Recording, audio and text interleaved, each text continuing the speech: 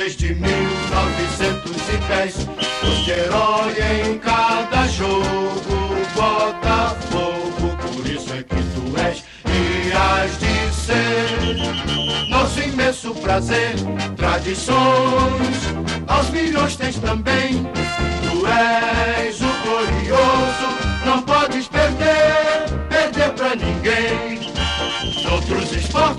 tua fibra está presente, moldando as cores do Brasil de nossa gente.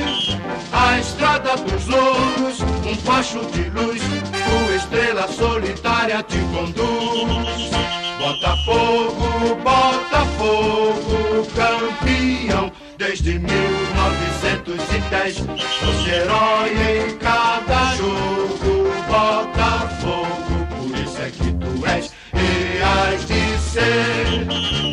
imenso prazer, tradições, aos milhões tens também. Tu és o glorioso, não podes perder, perder pra ninguém. Noutros esportes tua fibra está presente, moldando as cores do Brasil de nossa gente.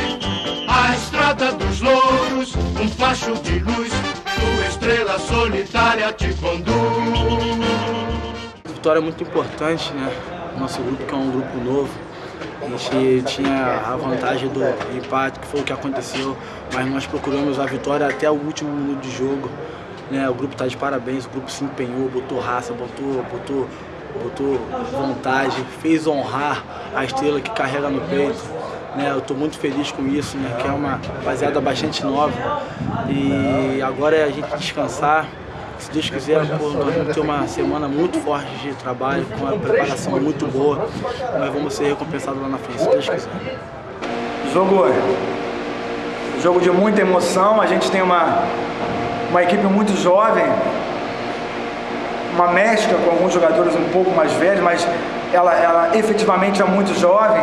A gente vai para um jogo, uma semifinal, que garantiu uma, uma vaga na final, numa busca por dois resultados, né? Nós, nós não jogamos para empatar, mas a gente sabia que se houvesse um empate, o empate seria favorável a gente. A gente consegue fazer até um bom primeiro tempo, terminando 1 a 1, saindo na frente do marcador e muito quente. Campo aqui, apesar de estar muito bom, está muito bom, está muito quente, o campo é muito grande. E eu tive que fazer duas substituições com 5 minutos no segundo tempo, duas lesões de dois jogadores. Aquilo me amarrou um pouquinho no segundo tempo, mas que mesmo assim nosso time mostrou muita, muita determinação, muita vontade, muito desejo de chegar numa final de competição e fez valer o que nós conversamos na preleção, né? Que a estrela não, brilha só, são todas as estrelas nossas virando uma constelação. E aí o brilho é muito mais forte e foi muito mais importante.